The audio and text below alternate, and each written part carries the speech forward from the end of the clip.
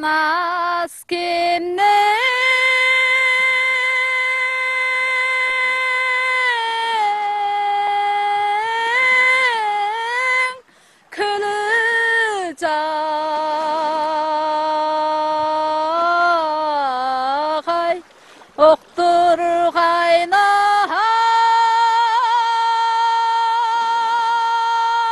Самая древняя народность Канаса – тувинцы – неизменно хранят традицию восхвалять красоту жизни и свой очаг в песнях. Село, в котором они живут, находится в самой северной точке западного Китая. Это место с благоприятной экологией и благоухающими лесами называется Хэму.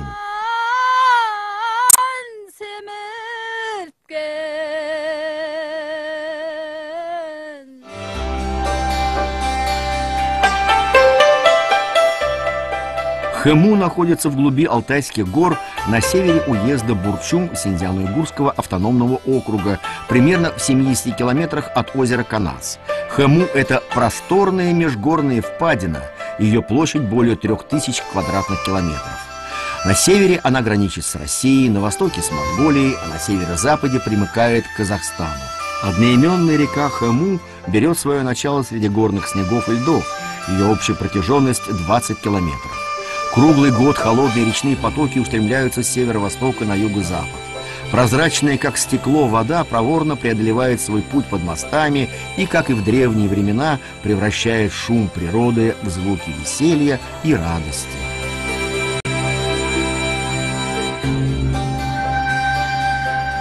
Из мастерски срубленных деревянных изб, разбросанных по горной впадине, поднимается печной дым.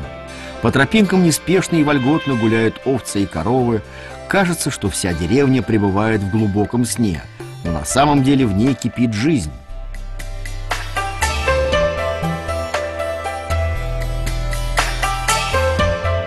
В деревне Хэму, расположенной в котловине, спрятался древнейший на севере скотоводческий этнос – тувинцы.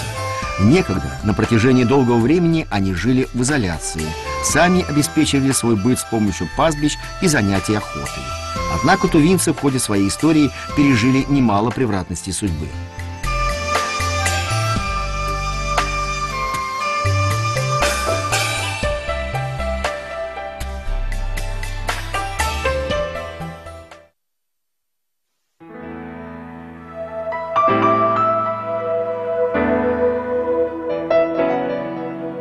Предки тувинцев впервые сконцентрировались к югу от современного озера Байкал и в окрестностях Саянского горного хребта в верхнем течении реки Енисей.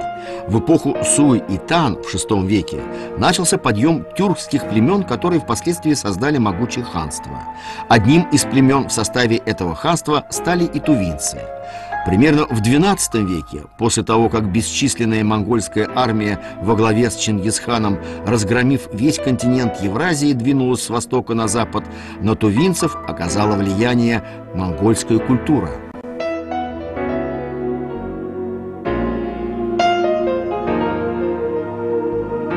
И даже сегодня в каждой деревянной избе у тувинцев ровно посередине на стене висит портрет Чингисхана. Сами тувинцы относят себя к монголам. Пожалуй, это потому, что они преклоняются перед непоколебимым великим ханом и следуют ему. Они верят, что этот известный всему миру человек был послан небесами, и, находясь в далеком небесном царстве, он приглядывает за потомками и посылает им Господнюю милость.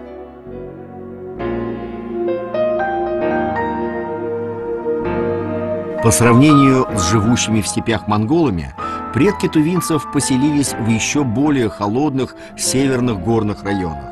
Их быт и производство были основаны не на скотоводстве, а преимущественно на собирательстве и охоте. И хотя даже сегодня тувинцы очень близки к монголам во внешности, в одежде и в обычаях, они все же говорят на своем тувинском языке.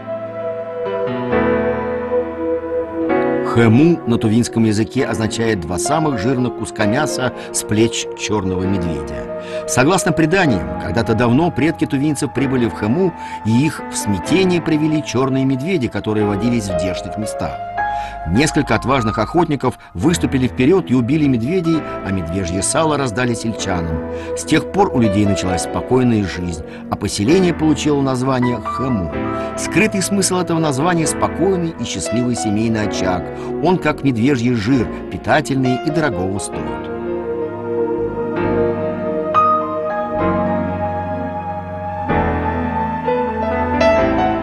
На рассвете долину реки между гор часто окутывает белый туман, будто вуаль закрывает невинное лицо прекрасной девушки. Но когда Хэму наполняет солнечный свет и ветер рассеивает туман, взору до самого горизонта открываются многочисленные виды. Вдалеке сплошь тянутся величественные алтайские горы, плывущие на горизонте облака бесконечно и неожиданно меняет горный ветер.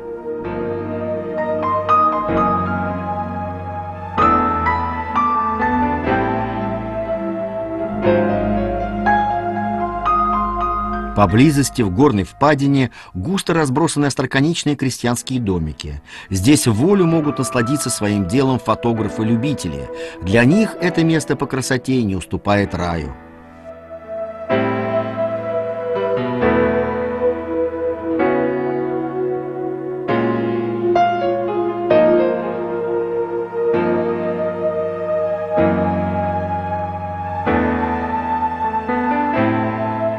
Деревянные домики со остроконечными крышами – это яркий символ деревни Хаму. Местные скотоводы называют их Мукалан. Эти домики не только комфортные и практичные, они создают прекрасные пейзажи.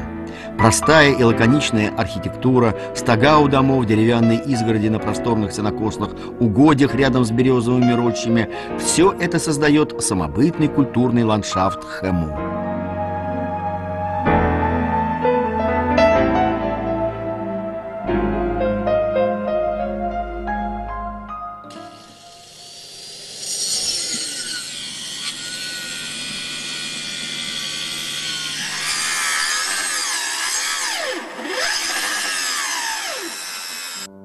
Для строительства такого дома не требуется много времени. Весь процесс несложный, и для него даже не нужен чертежный план. Обычно в стройке участвуют 2-3 скотовода. Чтобы построить дом, им нужно 2-3 дня и нехитрые рабочие инструменты. В качестве материалов используются бревна. Стройматериалы изыскивают на месте. Со стволов деревьев снимают листья и кору, и бревна готовы.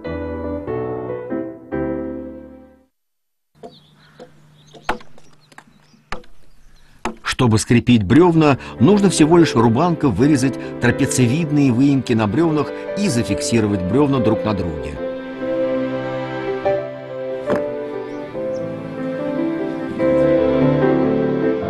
Жизненная мудрость тувинцев находит свое яркое отражение и в строительстве домов. Тувинцы собирают мох, который в обилии растет в местных лесах, и укладывают его между бревнами. При попадании воды мох растет еще больше и таким образом плотно удерживает между собой бревна, закрывает образующиеся между ними щели, которые защищают от дождя и ветра.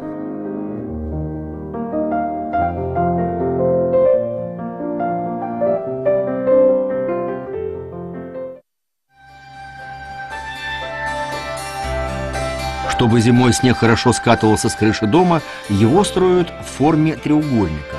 Благодаря покатистой крыше снежный нанос достигает на ней определенной толщины и сам начинает сваливаться.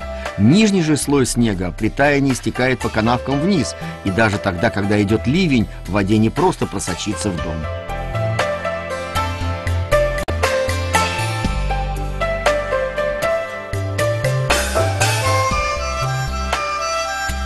Раньше для удобства выпаса скота тувинцы часто строили свои деревянные избы на обильных лугах поближе к воде.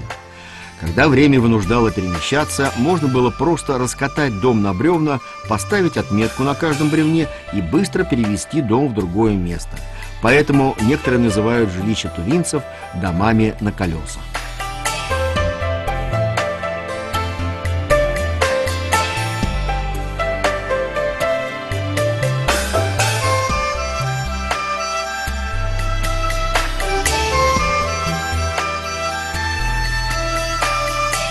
Истинная история тувинцев от начала до конца опирается на их язык, ярко проявляется в их обычаях и укладе и скрывается в заурядных жизненных мелочах. Чтобы понять их культуру и дотронуться до нее, единственное, что можно сделать, это самим стать к ним ближе и пожить среди них. Войдя в Хэму, будто попадаешь в мир сказки.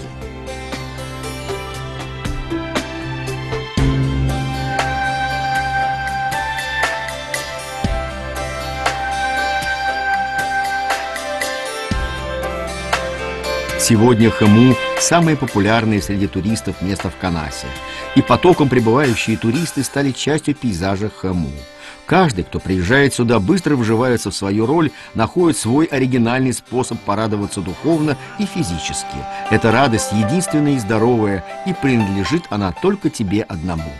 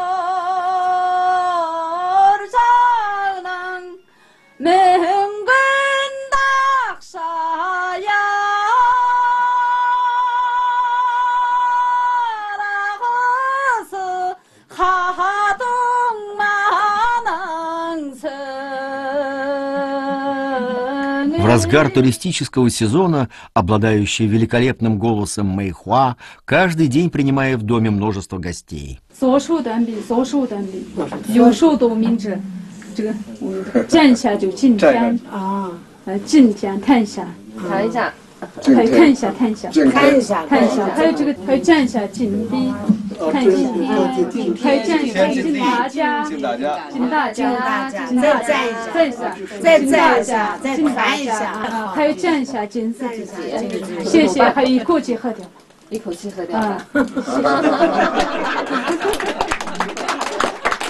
谢谢，谢谢，谢谢，谢谢。呃，远方来的尊贵的客人，大家喝掉嘛，公共杯。有，我那个大家。Что же до туристов, то, сидя в комфортных деревянных избах, они ощущают самобытный образ жизни тувинцев. Для них это бесспорно новый, уникальный опыт. Ханта,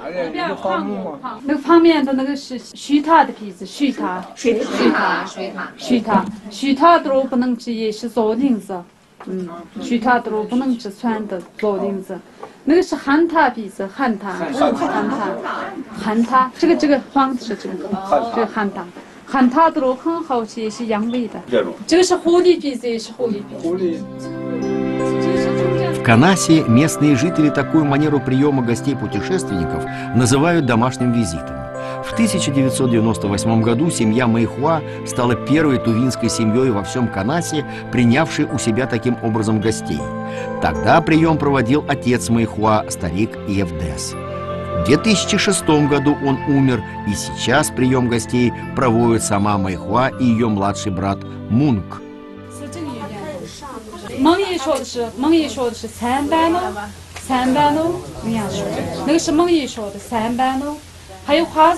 是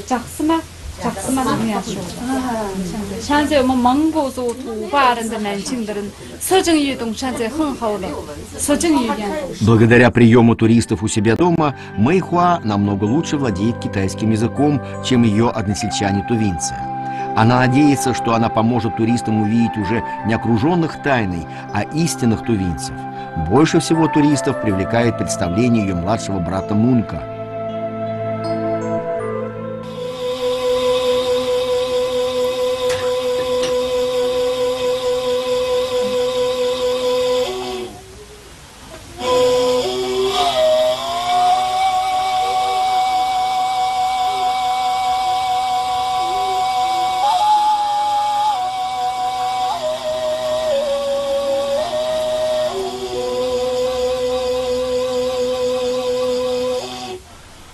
Из прямой деревянной трубки раздаются низкие раскатистые звуки и будто кружатся в воздухе. Это очень древний тувинский музыкальный инструмент – дудка из тростника. Выдуваемые из нее звуки раздаются долго и пустынно. Все, кто их слышит, буквально упиваются ими, и потому эти звуки еще называют голосами природы.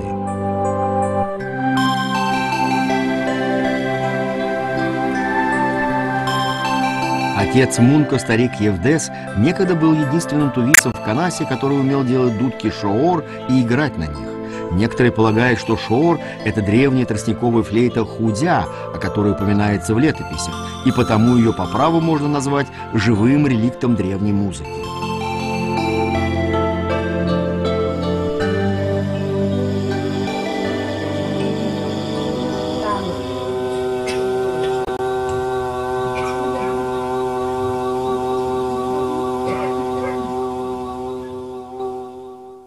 шорлубалар бурын енді бир тукансдесео бирмынжабыр мал істеп мал айгап жоргон киш еде бир буран шурганкүн жорда бір чаай э, биртурарк Olottu тыңдап рәсім істеп отырып бар істеп отырып барда бір жерде бір шытқан жонағыр сиген бір мұрғы дер тыбагы жайсам мандалыш дер деш орның аты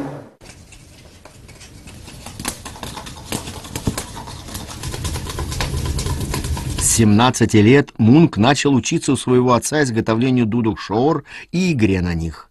Каждый год он делает себе новую дудку шоор, и всякий раз, когда он выстрагивает ее своими руками, он часто ощущает в ней силу природы.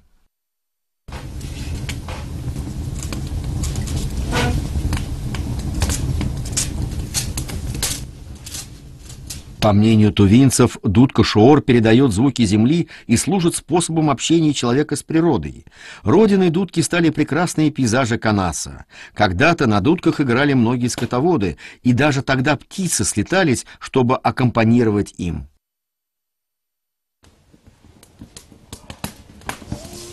Приятные звуки музыки будто проносят людей через тысячелетия и возвращают в прошлое тувинцев. В звучании этого духового инструмента вновь и вновь заканчивается и начинается бесхитростная и примитивная жизнь тувинского народа.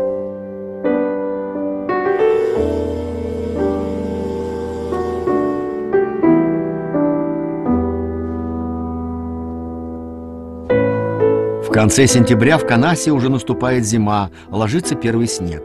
Чистый белый снег накрывает горы и леса. Великолепные краски осени в миг исчезают.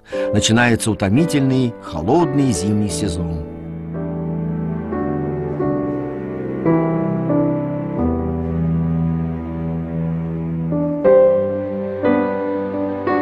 Воздух над заводью наполняет едва уловимая легкая дымка. Деревья вблизи водоема сплошь покрываются шугой и превращаются в изысканные блестящие, как жемчуг, произведения искусства.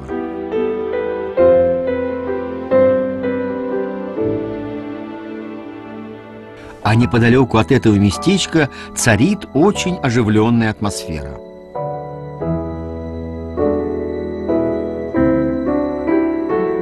Оказывается, здесь проходят интересные соревнования по катанию на лыжах Кубок Хэму. Это ежегодные пригласительные соревнования по зимней охоте на лыжах. В этом году в соревнованиях принимают участие 8 команд и в общей сложности более 40 человек. Все они местные канадские пастухи. По правилам соревнований участники должны преодолеть длинную дистанцию на старинных, обернутых в мех лыжах, таща при этом кожаный мешок весом 20 килограммов.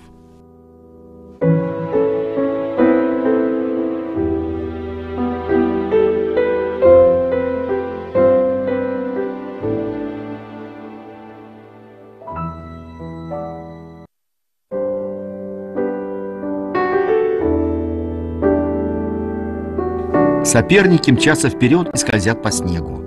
По правилам конкурсная дистанция включает три круга. После прохождения каждого круга нужно выпустить стрелу. Тот, кто попал в мишень, может продолжать игру. Если стрела не попала в мишень, то участника штрафуют прохождением удаленного обходного пути.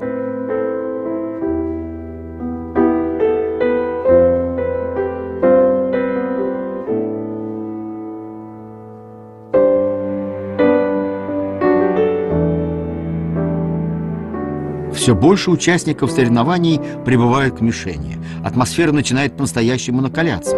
Когда кто-нибудь попадает в мишень, в толпе болельщиков раздаются возгласы.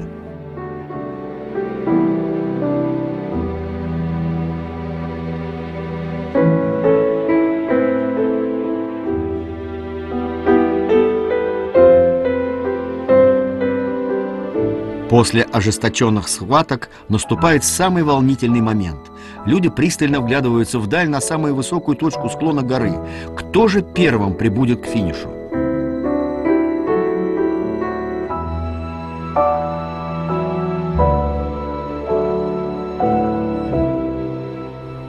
Волосы на голове чемпиона и одежда на нем покрыты льдинками. Он напоминает вернувшегося с триумфом героя. Все наперебой говорят ему свои слова поздравления, и, кажется, страсть и любовь местных жителей ко льду и снегу не угаснут никогда. Они стали врожденной чертой тувинцев, неотъемлемой частью их жизни.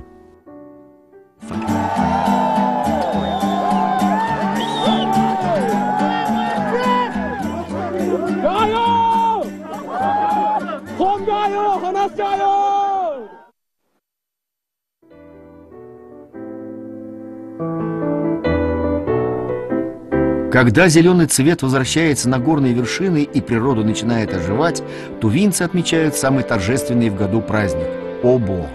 Представители народности Тува, несмотря на то, что в Китае их проживает уже меньше трех тысяч, сохраняют свои древние племенные и родовые традиции. Ежегодно они проводят различные религиозные жертвоприношения, и Обо – важнейшее из них. Зачастую его организуют у озера Ядзеху.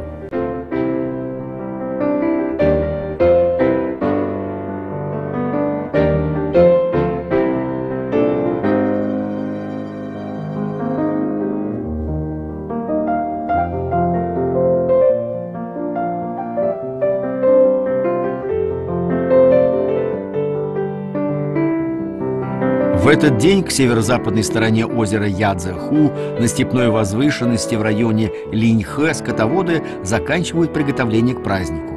Поскольку таяние снега и освобождение от льда в природе всегда происходит в разное время, точная дата проведения праздника Обо обычно определяется погодными условиями. Предки тувинцев считали, что небо и земля являются крайне важными для человечества. От них зависит жизнь, поэтому особо поклонялись им.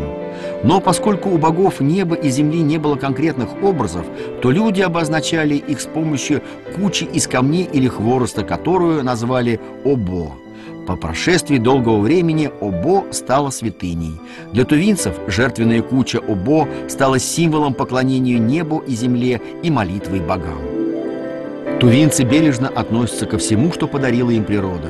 Они никогда просто так не вытаптывают густые заросли травы и не рубят произвольно деревья. Простая горно-лесистая местность для них – это беспримерно плодородные места. Ведя простой образ жизни, они всем сердцем стремятся к равновесию и глубоко следуют ему на практике. Жертвенную груду Обо заново украшают, и тувинские старики забираются на самую ее вершину, чтобы помолиться богам о счастье.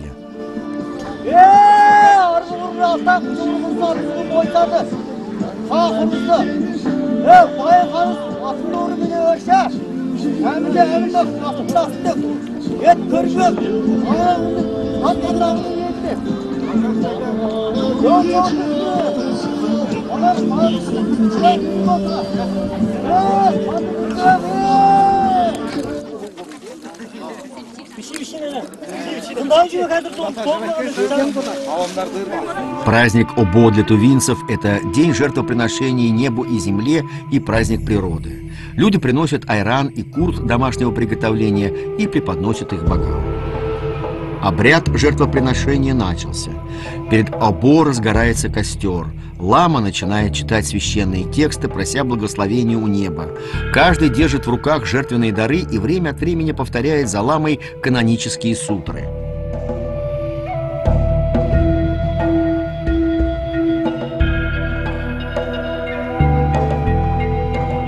Люди привязывают символизирующие полотно хода разноцветные ленты к березам, обращаясь со своими заветными желаниями. Затем они трижды по часовой стрелке совершают обход вокруг Обо, ставят айран и курт и молят у богов благословения.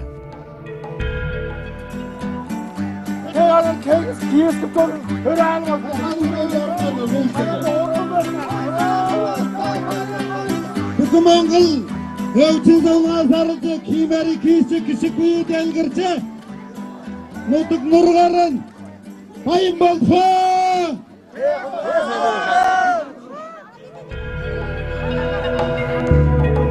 Праздник Обо проходит в торжественной и оживленной обстановке. Кроме тувинцев, проживающих в Канасе со своими домочадцами Кобо, приходят многие монголы и представители других народностей, проживающие в округе за 10 и более километров.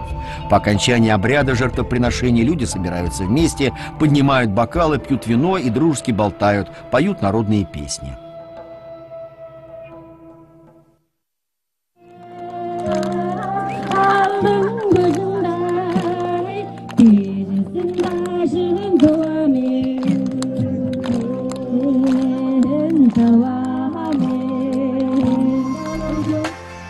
В Хэму и в Канасе во всем проявляется теплота, искренность и согласие с окружающим миром. И кажется, что здесь восторгаешься даже спокойствием времени. Оно здесь будто остановилось, и ни годы, ни месяцы не оставили здесь никаких следов. Людей приводит в изумление то, что этот народ, у которого нет письменности, на протяжении нескольких сотен лет в гармоничном сосуществовании с природой, хранит память о своих предках и о своем прошлом.